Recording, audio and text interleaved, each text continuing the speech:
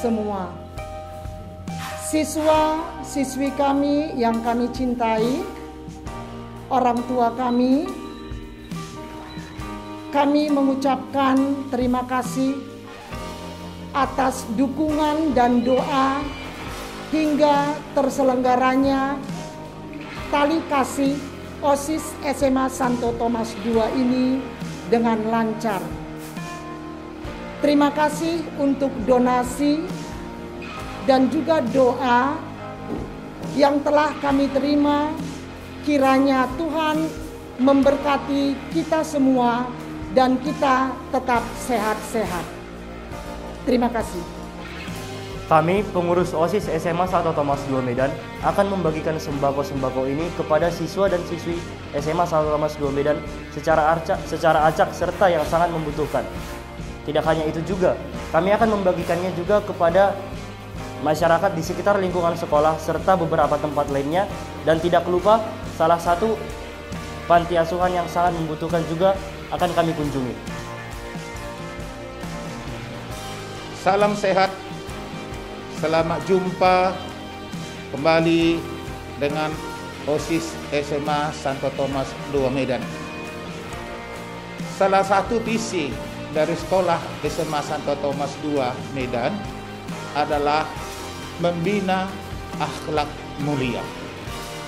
Setelah pengurus OSIS yang baru terbentuk pada masa pandemi, mereka membuat suatu kegiatan dengan judul Tali Kasih SMA Santo Thomas 2 Medan. Beberapa pengurus inti rapat dan menyampaikan kepada pihak sekolah dan kepada PKS bagian kesiswaan untuk program ini. Lalu kami tanyakan tujuannya apa. Lalu mereka mengatakan kepedulian terhadap sesama pada masa pandemi ini. Itulah yang akan kami buat, Pak. Itulah kata mereka. Lalu kami berpikir dan kami setujui karena program ini adalah wujud nyata dari membina akhlak mulia terhadap sesama sesuai dengan visi sekolah kita. Kepada anak didik kami, pengurus yang OSIS yang baru, ini adalah kegiatanmu yang pertama setelah dilantik menjadi pengurus OSIS. Terima kasih banyak di mana kegiatan ini di luar jangkauan kami sesungguhnya terutama dalam masa pandemi Covid-19. Kepada orang tua, kepada seluruh masyarakat, terima kasih atas doa-doa untuk sekolah SMA Santo Thomas II Semoga anak didik kami menjadi anak yang tahu berterima kasih kepada orang tua atas genap dukungannya untuk sekolah kita dan menjadi anak didik yang akhlak patuh terhadap Tuhan. Doa kami senantiasa untuk peserta didik kami dan demikian juga doa kami untuk seluruh orang tua kami yang telah memberikan dorongan motivasi donasi kepada anak didik kita. Anak didik kami itu kami sampaikan apresiasi yang sesungguhnya. Salam dan salam sehat. Terima kasih.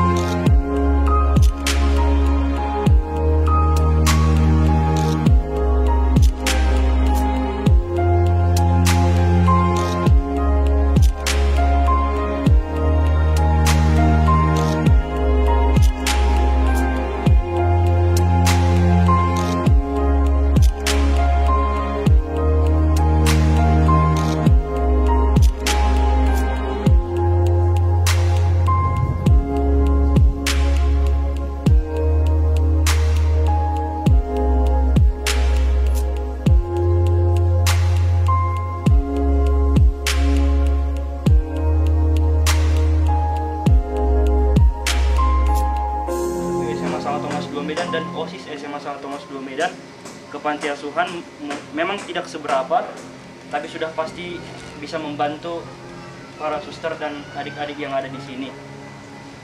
Itu saja.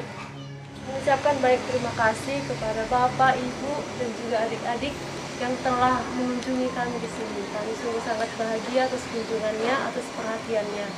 Semoga nanti apa yang menjadi perhatian perhatian orang adik-adik kepada kami, semoga itu berguna juga bagi kami yang tinggal di sini. Kami juga mengucapkan baik terima kasih dan juga salam kepada orang tua di rumah. Kami mengucapkan baik terima kasih kepada orang tua.